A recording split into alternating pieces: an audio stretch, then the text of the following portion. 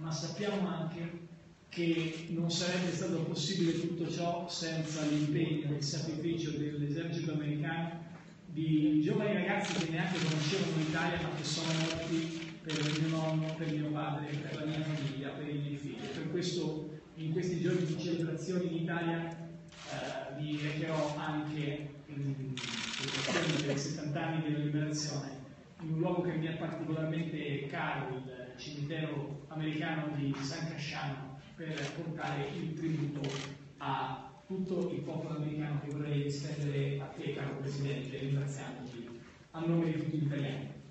Abbiamo discusso molto, abbiamo discusso di tante questioni molto importanti.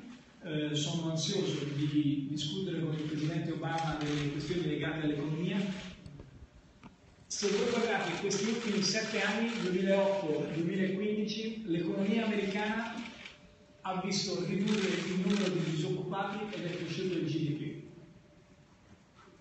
L'economia europea ha visto aumentare il numero di disoccupati e diminuito il PIL, il GDP. Qualcosa non ha funzionato a casa nostra.